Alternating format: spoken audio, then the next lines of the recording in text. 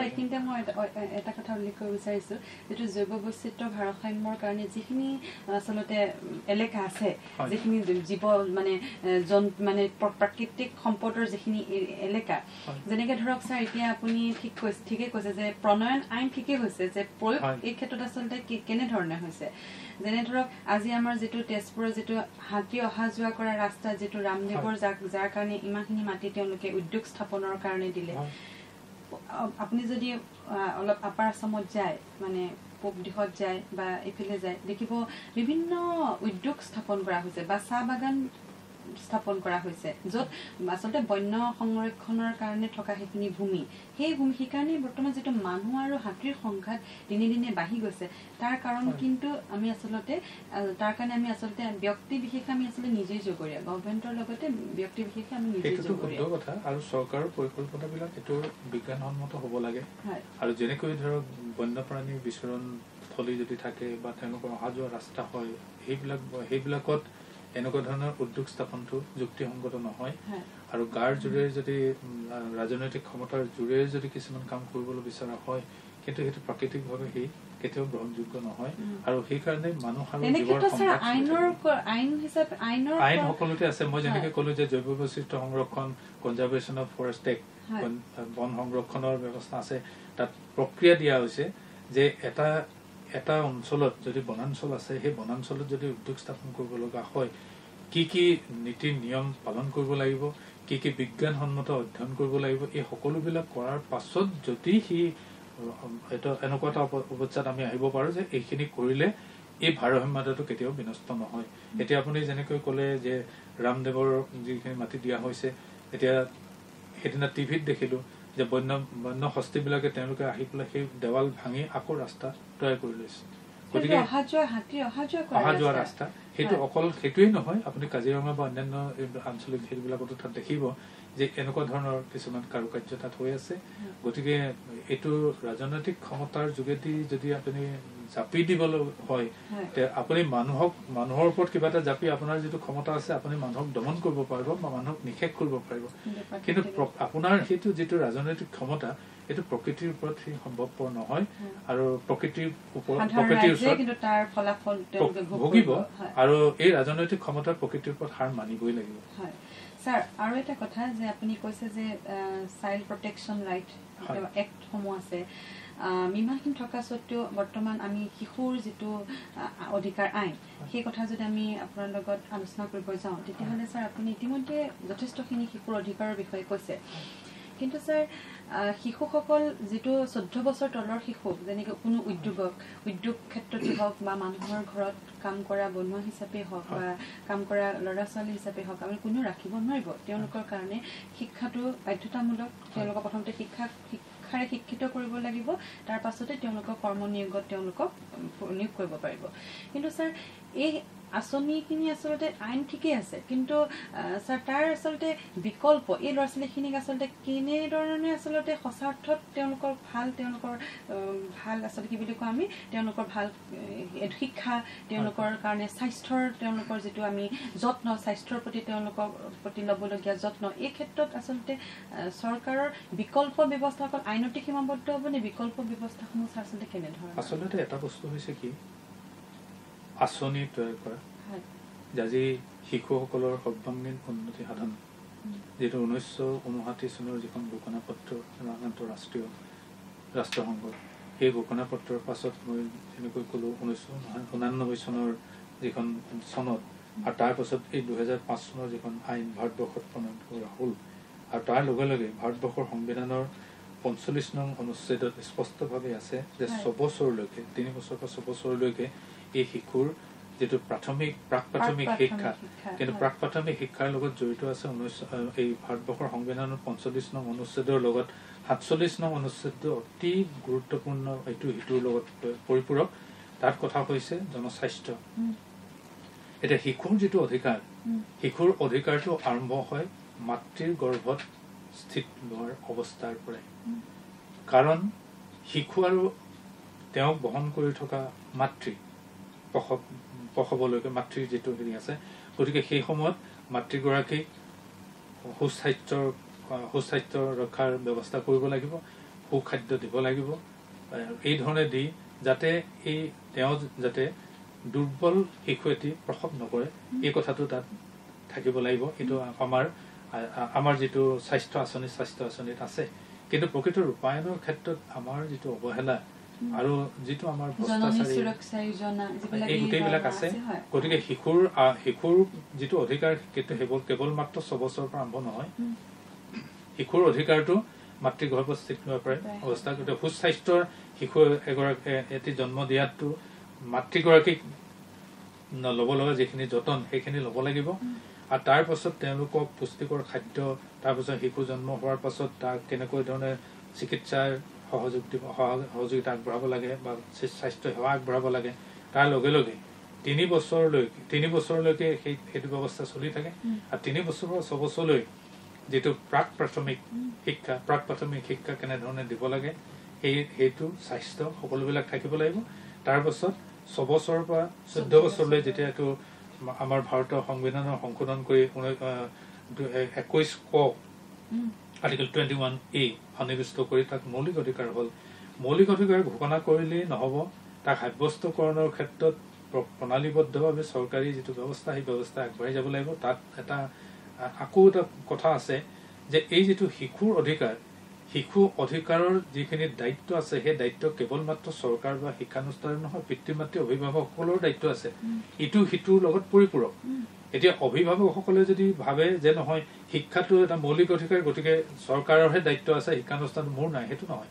আৰু সেইকাৰণে ভাৰতবৰ্ষৰ সংবিধানৰ যিটো একাৱন্ন ক অনুচ্ছেদ সন্নিৱিষ্ট কৰা হ'ল মৌলিক দায়িত্ব তাৰ শেষৰ যিটো উপাদান সেই শেষৰ যিটো উপাদান আছে সেইটোত স্পষ্টভাৱে কোৱা হৈছে যে পিতৃ মাতৃ বা অভিভাৱকসকলৰ প্ৰাক প্ৰাথমিক বা প্ৰাথমিক শিক্ষাৰ উপযোগী যিসকল শিশু আছে তেওঁলোকৰ ক্ষেত্ৰত তেওঁলোকৰ কৰণীয় যিখিনি আছে। গতিকে অভিভাৱকসকলে তেওঁলোকৰ তেওঁলোকৰ দায়িত্ব পালন কৰিব লাগিব। চৰকাৰী যিটো ব্যৱস্থা সেই ব্যৱস্থাই তেওঁলোকৰ দায়িত্ব পালন কৰিব লাগিব শিক্ষানুষ্ঠানসকলে তেওঁলোকৰ দায়িত্ব পালন কৰিব লাগিব এই ধৰণে সকলোৰে সমষ্টিগত যিটো প্ৰচেষ্টা সেই সমষ্টিগত প্ৰচেষ্টাতে আমি সৰ্বাংগীন উন্নতি সাধন এজন শিশুৰ বা এটি শিশুৰ আমি কৰিব পাৰোঁ কৰিব পাৰোঁ। কাৰণ শিশুক আমি ভৱিষ্যত বুলি কৈছো। কিন্তু আমাৰ ভৱিষ্যত গঢ় দিবৰ কাৰণে মই যেনেকে কলো যে মাতৃৰ গৰ্ভত স্থিত হোৱাৰ পৰা উপযুক্ত বয়সলৈকে ওঠৰ বছৰলৈকে আমি সেই দায়িত্ব পালন কৰিব লাগে। ৰাষ্ট্ৰভাৱে ৰাষ্ট্ৰীয়ভাৱে পিতৃ মাতৃয়ে আৰু শিক্ষানুষ্ঠান বা সামাজিকভাৱে। এইখিনি আমি কৰিবই লাগিব। আৰু সেই আঁচনিৰ দ্বাৰাহে আমি শিশু এজনক প্ৰকৃতাৰ্থত এজন দায়িত্বশীল নাগৰিক হিচাপে আমি সৃষ্টি কৰিব পাৰো। এইখিনি হ'ল মূল উপাদান। কিন্তু ইয়াত কথা হ'ল যে সদিচ্ছা আৰু আন্তৰিকতা। এতিয়া দ্বিতীয় কথা হৈছে দায়িত্ববোধ। আমি সদায় অধিকাৰ সচেতন। মোক এইটো লাগে মোক সেইটো লাগে কিন্তু মোৰ কি দায়িত্ব আছে এই অধিকাৰটো সাব্যস্ত কৰিবলৈ যাওঁতে মোৰ নিশ্চয় এটা দায়িত্ব আছে সেই দায়িত্বটো মই পালন কৰিছো নে নাই। গতিকে সেই দায়িত্বটো পালন কৰিব লাগিব গতিকে দায়িত্ববোধটো আটাইতকৈ ডাঙৰ কথা। আৰু যেতিয়ালৈকে সামাজিক অধিকাৰ আৰু সামাজিক দায়িত্ব ইটো সিটোৰ পৰিপূৰক। তেতিয়াহে সেই ভাৰসাম্য হৈ থাকিব এতিয়া আমি যেতিয়া অধিকাৰ কেন্দ্ৰিক হৈছো। এই ভাৰসাম্যতা হেৰাই গৈছে ব্যৱস্থাটো। আৰু সেইটো যেতিয়া আহিব তেতিয়া মই ভাবো যে সুন্দৰভাৱে আমাৰ সমাজখন সুস্থ দিশত আগুৱাই যাব হয়। ছাৰ আমি শিশুৰ অধিকাৰৰ পিছত আৰু অন্য এটা কথা বিষয়ে আপোনালোকে আলোচনা কৰিব ওলাইছোঁ। যেনে ধৰক বৰ্তমান আমি খুব প্ৰাসংগিক আমি কিছুমান পেপাৰ কাগজে পত্ৰে বা আমি যদি দূৰদৰ্শন চাওঁ তেতিয়া আমি সঘনাই এই যে মানুহে নিজৰ জাতি মাটি ভেটিৰ কাৰণে নিজৰ অধিকাৰৰ। কাৰণে তেওঁলোকে মানে তেওঁলোকৰ ৰেজ দিয়াৰ ভইচ মানে।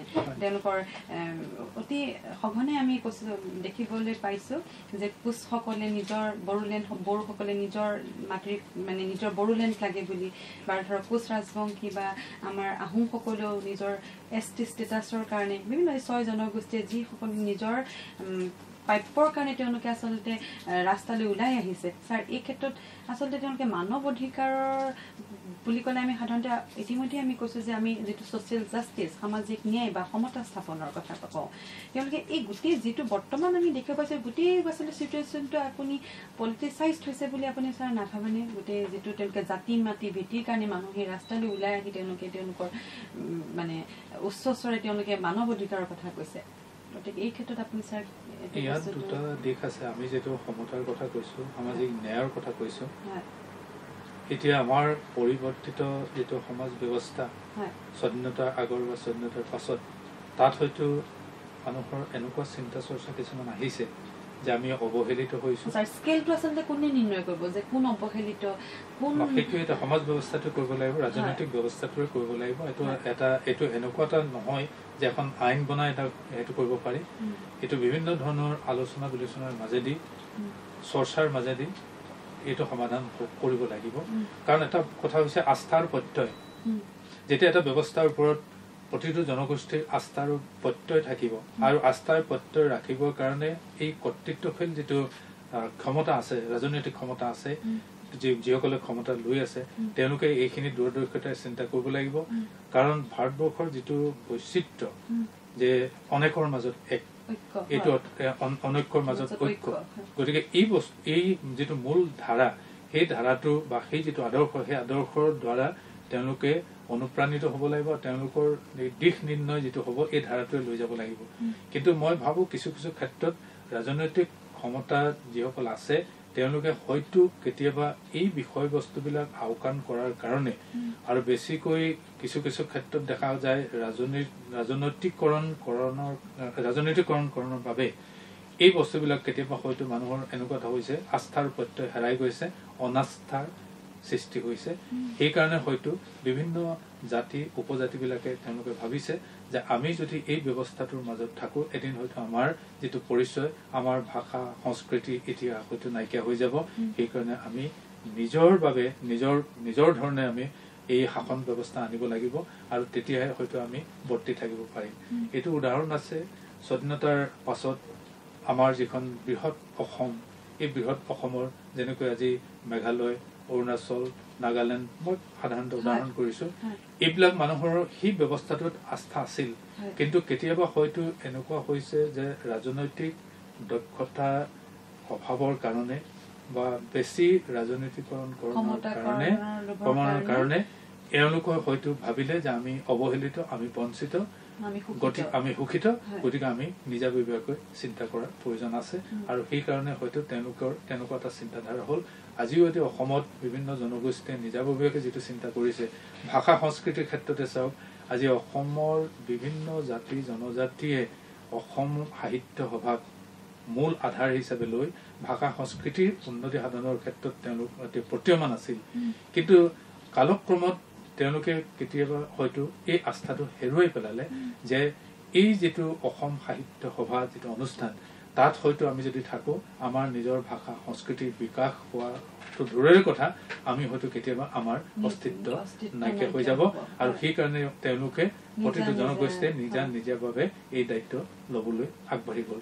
এই ধৰণ এই এই যিটো প্ৰ- প্ৰক্ৰিয়া হয়তো তাত কিবা এটা হৈছে যে আমি কিবা এটা আওকাণ কৰিছো কোনো ক্ষেত্ৰত আৰু এইটো গৱেষণাৰ থল আছে আলোচনাৰ থল আছে গতিকে বেছি ৰাজনৈতিকৰণ কৰাৰ আগতেই আমি যদি বিজ্ঞানসন্মতভাৱে আৰু সামাজিকভাৱে সকলোৰে হৃদয় স্পৰ্শ কৰি যোৱাকৈ আমি যদি এটা প্ৰক্ৰিয়াৰ দ্বাৰা এই সকলোবিলাকৰ সমন্বয়ৰ চিন্তাৰে আমি আগবাঢ়ি যাওঁ অনৈক্যৰ মাজত ঐক্যৰ সেই আদৰ্শৰে তেতিয়াহ'লে মই ভাবো এই যিবিলাক বিভিন্ন ধৰণৰ সৃষ্টি হৈছে বিভিন্ন ধৰণৰ প্ৰতিবাদৰ সৃষ্টি হৈছে।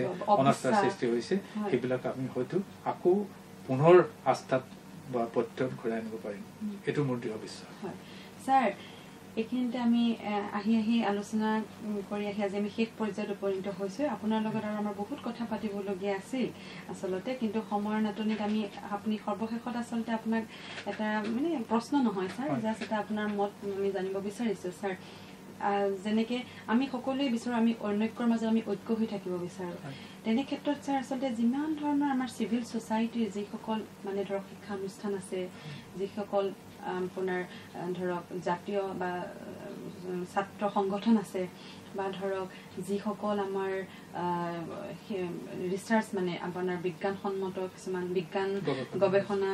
কেন্দ্ৰ আছে এই এনেকুৱা ধৰণৰ ছাৰ বা যিসকল মানে ব্যক্তি আমি সঁচা অৰ্থত সমাজৰ মানে মুৰব্বী বুলি কওঁ এইসকল ব্যক্তিৰ ছাৰ আচলতে ভূমিকা কেনে হোৱা উচিত আমাৰ মানৱ অধিকাৰ মানুহক সচেতনতা অনাৰ ক্ষেত্ৰত কাৰণ বহুত ব্যক্তি মানুহে যিবিলাক আপুনি আমি আজি ইয়াতে বহি যিসকলে গাঁও বা এখন চহৰাঞ্চলত বহি বহি থাকিও হয়তো মানৱ অধিকাৰ তেওঁলোকে হয়তো নাজানিব পাৰে। যিসকল বিশেষকৈ গাঁও অঞ্চলত আছে তেওঁলোকে সাংবিধানিক অধিকাৰ তেওঁলোকে আচলতে তেওঁলোকৰ আচলতে সাংবিধানিক অধিকাৰ কেনেধৰণৰ আছে তেওঁলোকৰ নিজৰ স্বাস্থ্যৰ ক্ষেত্ৰত কেনেধৰণৰ মানে মানৱ অধিকাৰ আছে তেওঁলোকৰ শিক্ষাৰ ক্ষেত্ৰত কেনেধৰণৰ আচলতে তেওঁলোকৰ সাংবিধানিক অধিকাৰ আছে এই ক্ষেত্ৰত তেওঁলোকে নাজানিব পাৰে। গতিকে এনে ক্ষেত্ৰত তেওঁলোকৰ মাজত আচলতে সচেতনতাৰ সৃষ্টি কৰিবলৈ এনেধৰণৰ অনুষ্ঠানসমূহ আচলতে দায়িত্ব কেনে হোৱা উচিত বুলি আপুনি ভাবে? এইটো এটা সমাজ ব্যৱস্থা আগবঢ়াই নিয়াৰ ক্ষেত্ৰত। শিক্ষানুষ্ঠানৰ যেনেকৈ দায়িত্ব আছে ঠিক তেনেকৈ আমাৰ যিবিলাক এন জি অ' আছে বা চিভিল ছ'চাইটি যাক কওঁ। এইবিলাকৰ সঁচাকৈ যথেষ্ট দায়িত্ব আছে। আৰু সেই দায়িত্ব পালনৰ যোগেদিহে আমি আগুৱাই যাব পাৰোঁ আজি আমি উচ্চ শিক্ষাৰ শিক্ষানুষ্ঠানেই হওক বা তলৰ পৰ্যায়ৰ শিক্ষানুষ্ঠানেই হওক আমাৰ কথা হৈছে কি এইটো কেন্দ্ৰীভূত আছে কেৱল মাত্ৰ আনুষ্ঠানিকতাত আমি যদি এই আনুষ্ঠানিকতাৰ পৰিসীমা পাৰ হৈ গৈ অনানুষ্ঠানিকতাৰে জনসাধাৰণৰ মাজলৈ গৈ জীৱন ধাৰণৰ পৰা আৰম্ভ কৰি সকলো বিজ্ঞান প্ৰযুক্তি অগ্ৰগতি বিশ্বায়নৰ যিটো প্ৰক্ৰিয়া সেই প্ৰক্ৰিয়াত আমি কেনেকৈ নিজক খাপ খুৱাই যাব পাৰোঁ এনেকুৱা ধৰণৰ আলোচনাৰ যোগেদি বা বিভিন্ন ধৰণৰ কথা বতৰাৰ যোগেদি যি পৰিৱেশত যিটো প্ৰয়োজন হয় সেই ধৰণে যদি আমি আমাৰ সেৱা আগবঢ়াই যাওঁ। আৰু মই এইকাৰণেই ক'লো যে অনুষ্ঠানিক আনুষ্ঠানিকতাৰ পৰিৱেশৰ পৰিসীমা পাৰ হৈ গৈ অনানুষ্ঠানিকতাৰ পৰিৱেশত গৈ আমি যদি সেই সংস্কাৰটো আনিব বিচাৰোঁ বা মানুহক সচেতন কৰিব পাৰোঁ তেতিয়াহ'লে মই ভাবোঁ এইটো চিভিল ছ'চাইটিয়ে হওক বা শিক্ষানু উচ্চ শিক্ষানুষ্ঠানেই হওক এইবিলাকত আমি আমাৰ অৰিহণা যোগাব পাৰিম। এতিয়া উদাহৰণস্বৰূপে মই কওঁ আজি যদি এখন বিশ্ববিদ্যালয়ৰ চাৰিওফালে থকা শিক্ষানুষ্ঠানবিলাক আছে এই বিশ্ববিদ্যালয়ৰ যিসকল শিক্ষক শিক্ষয়িত্ৰী আছে ছাত্ৰ ছাত্ৰী আছে তেওঁলোকে অধ্যয়ন কৰি এই অৱস্থাত এইটো উপনীত হৈছেহি উচ্চ স্তৰত। তেওঁলোকে অলপ সময় উলিয়াই ওচৰে পাজৰে থকা যিবিলাক শিক্ষানুষ্ঠান আছে সেই শিক্ষানুষ্ঠানত গৈ এই ছাত্ৰ ছাত্ৰীসকলক অনুপ্ৰেৰণা যোৱা যোগোৱাৰ লগে লগে তেওঁলোকৰ পিতৃ মাতৃসকলৰ লগতো পাৰিপাৰ্শ্বিকতাৰ ওপৰত আধ্যাত্মিকতাৰ ওপৰত সমাজ ব্যৱস্থাৰ ওপৰত। স্বাস্থ্যৰ ওপৰত আলোচনা চক্ৰৰ যোগেদি বা কথা বতৰাৰ যোগেদি আমি যদি সেই মানুহবিলাকক সজাগ কৰিব পাৰোঁ তেতিয়াহ'লে মই ভাবোঁ যে আমাৰ যিটো দায়িত্ব সেই দায়িত্ব আমি পালন কৰিব পাৰিছোঁ। কেৱল মাত্ৰ শিক্ষানুষ্ঠানত শিক্ষা প্ৰদান কৰা গৱেষণাটোৱে সীমাবদ্ধ নাথাকি। সেইকাৰণে মই ক'লো যে আনুষ্ঠানিকতাৰ পৰিসীমা পাৰ হৈ যাব লাগিব। আৰু তেতিয়াহ'লে মই ভাবোঁ যে বিশদভাৱে যেতিয়া এই সংস্কাৰ এটা আহিব এই- এইটোৱে মই ভাবোঁ আমাৰ প্ৰত্যেকজন ব্যক্তিক সচেতন কৰি তুলিব। প্ৰত্যেকজন ব্যক- ব্যক্তিক তেওঁৰ যিটো দায়িত্ব সেই দায়িত্বৰ দায়িত্ববোধ আনিব। আৰু তেতিয়া প্ৰত্যেকজন নাগৰিকে যেতিয়া দায়িত্ববোধ হ'ব তেতিয়া এই যিটো ব্যৱস্থা আমি ভাবিছোঁ যে আমাক আইন আৰু চৰকাৰ কিয় লাগে? যিটো মাৰ্কছে কৈছিলে with the rebel on state আমাক ষ্টেটো নালাগে আইনো নালাগে। কাৰণ আমি যিটো প্ৰিমিটিভ পৌৰাণিক কালৰ যিটো ট্ৰাইবেল ট্ৰাইবেল ট্ৰাইবেল ষ্টেট বা ট্ৰাইবেল ছ'চাইটি। তাত ন' এবাণ্ডেঞ্চ ন' স্কাৰচিটি তাত অভাৱো নাই। কোনো ধৰণৰ অতি বেছি অতি- বেছিও নাই। অতিৰিক্ত নাই। গতিকে সকলো সমান থাকিব। আৰু তেতিয়া সেই দৃষ্টিভংগীৰে আমি যদি আগুৱাই যাব পাৰোঁ তেতিয়াহ'লে মই ভাবোঁ তেনেকুৱা এখন সুস্থ সমাজ আমি কৰিব পাৰিম। নহ'লে এই যিটো বৈষম্যতা সেই বৈষম্যতা সদায় চলি থাকিব। শ্ৰেণী বিভাজন যিটো আছে যে সেই শ্ৰেণী বিভাজন সদায় চলিব। এতিয়া উদাহৰণস্বৰূপে আজি ধৰক আমি ৰাজপত্ৰিত যিসকল বিষয়া তাক তেওঁলোকক সংবিধানতে পাব্লিক ছাৰ্ভেণ্ট বুলি কোৱা যায় তেওঁলোক ৰাইজৰ সেৱক। কিন্তু আচৰণ যিটো প্ৰক্ৰিয়া তেওঁলোকে কেতিয়াও ৰাইজৰ সেৱক হিচাপে নকৰে ৰাইজহে তেওঁলোকৰ সেৱক এনেকুৱা ধাৰণাৰে সামন্তযুগীয় যিটো চিন্তা বা ব্ৰিটিছ সাম্ৰাজ্যবাদী যিটো চিন্তা সেই চিন্তাৰে আমাৰ এই ব্যৱস্থাটো চলি আছে। আজি এজন ৰাজপত্ৰিত প্ৰশাসনিক বিষয়াৰ কিবা এটা মানুহৰ মানৱ অধিকাৰ খৰ্ব বা অন্যান্য ক্ষেত্ৰতে হওক তেওঁলোকৰ ওচৰত মই এইটো সৰলীকৰণ কৰা নাই তাত বহুত বহুবিলাক আছে যিবিলাকে তেওঁলোকে এইটো আগবঢ়ায় সেৱা আগবঢ়ায়। কিন্তু বহুতে ভাবে যে আমাৰ আমি এটা দক্ষতা পাইছোঁ আমাৰ যোগ্যতা আমি এটা যথেষ্ট ডাঙৰ পৰীক্ষা আমি পাছ কৰি আহি পেলাই আসনত বহিছোঁ। আমি ডেপুটি কমিশ্যনাৰ হৈছোঁ আমি এছ পি হৈছোঁ। গতিকে এইবিলাক সাধাৰণ মানুহ গতিকে এওঁলোকক আমি সেই দৃষ্টিভংগী সেই ব্ৰিটিছৰ যিটো শোষণ নীতি সেই শোষণ নীতিৰে এতিয়াও সমাজ ব্যৱস্থা চলি আছে। গতিকে পাব্লিক অপিনিয়ন যি সামাজিক মতামত যেনেকে ভোটতে ভোটাধিকাৰতে শেষ হ'ব নালাগে গণতন্ত্ৰ তাত আমাৰ যিটো মতামত জনসাধাৰণৰ যিটো মতামত সেই জনসাধাৰণৰ মতামতো গ্ৰহণ কৰি যদি গণতন্ত্ৰ আগুৱাই যায় তেতিয়াহ'লে এখন সুস্থ গণতন্ত্ৰ গণতান্ত্ৰিক দেশ আমি পাম। হয়। ছাৰ ইতিমধ্যে আমি আজি মানৱ অধিকাৰ আৰু বৰ্তমান সময়ত ইয়াৰ বিভিন্ন প্ৰাসংগিকতাৰ বিষয়ে আমি আপোনাৰ পৰা আজি বহুখিনি কথা জানিব পাৰিলোঁ। আন্তঃৰাষ্ট্ৰীয় পৰ্যায়তে হওক ৰাষ্ট্ৰীয় পৰ্যায়তে হওক বা ৰাজ্যিক পৰ্যায়ত আচলতে মানৱ অধিকাৰ কি বৰ্তমান অৱস্থা কি এই বিষয়ে আমি নাৰীৰ অধিকাৰ কি শিশুৰ অধিকাৰ কি প্ৰাকৃতিক ভাৰসাম্য ৰক্ষাৰ ক্ষেত্ৰত অধিকাৰ কি মানৱ অধিকাৰ আচলতে কোন কোন ক্ষেত্ৰত বিশ্লেষণ আগবঢ়াইছে এই ক্ষেত্ৰত আমি আজি আপোনাৰ লগত আলোচনা কৰি আমি যথেষ্টখিনি যথেষ্টভাৱে আমি ছাৰ উপকৃত হৈছোঁ। আগলৈও ছাৰ আপোনাক আকৌ লগ কৰাৰ আশাৰে আজিলৈ ছাৰ অনুষ্ঠানটি হয় ধন্যবাদ ছাৰ।